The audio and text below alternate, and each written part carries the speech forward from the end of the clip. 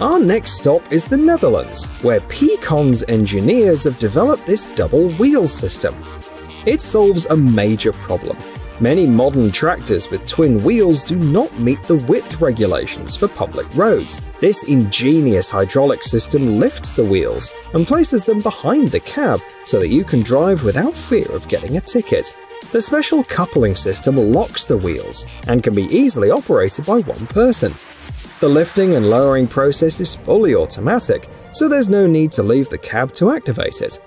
Another great advantage is the reduced pressure on the ground thanks to the pressure redistribution. Users in the comments have advised manufacturers to think about installing additional fenders.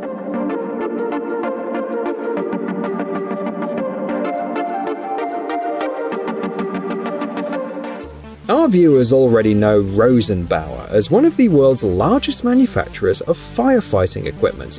In today's selection, the experts from Austria offer us to take a look at rescue ladders designed to quickly evacuate passengers from an airplane.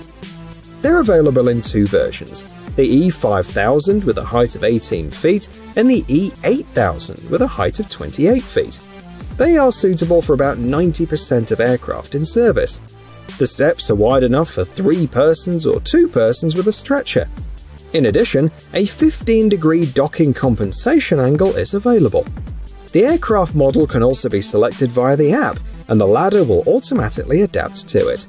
Stability is ensured by the retractable legs and the automatic level regulation system, which is activated with a single button.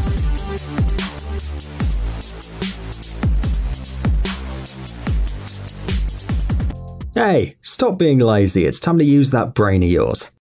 Welcome to Brain Time. Incredible facts from the past, the present, and even the future.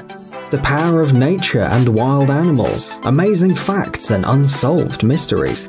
You'll find all this and much more here. Subscribe now, you won't regret it.